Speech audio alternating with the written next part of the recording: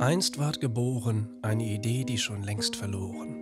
Wollten wir nicht alle zusammen uns vor dem Spielzeug versammeln, Spaß haben und uns an der Idee laben, gemeinsam und gegeneinander im gegenseitigen Miteinander den Spaß am Spiel zu loben und nicht daran zu darben.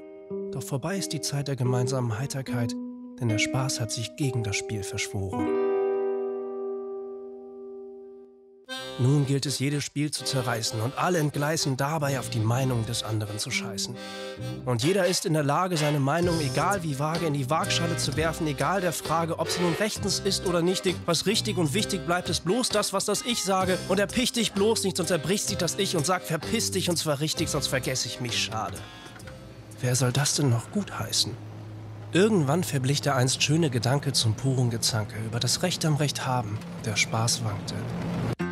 Vielleicht war es ein Fehler, zu viel des Guten zu vielen zuzumuten. Doch Mut ist das, was Gutes tut. Drum tut Gutes und schreit frohen Mutes. Ich will das nicht mehr, ich will doch nicht viel. Alles, was ich will, ist wieder Spaß am Spiel.